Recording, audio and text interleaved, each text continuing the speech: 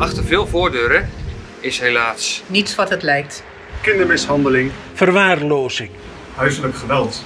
Seksueel misbruik. Maar ook ouders die worstelen. met psychische problemen of geldzorgen. Je ziet het niet, Maar het is er wel. als je als kind opgroeit.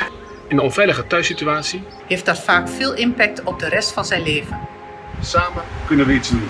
Juist nu is het belangrijk om verder te kijken dan die voordeur. Juist nu is het belangrijk om contact te maken. Juist nu is het belangrijk door te vragen. Juist nu is het belangrijk om samen te werken. Het begint bij het besluit om het te willen zien. Toon lef en doorzettingsvermogen.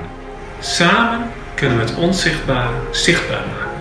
Er is maar één persoon nodig om het verschil te maken. En jij kan deze persoon zijn. Kijk verder. Werk samen. Je kunt iets doen. www Punt. Week tegen kindermishandeling.nl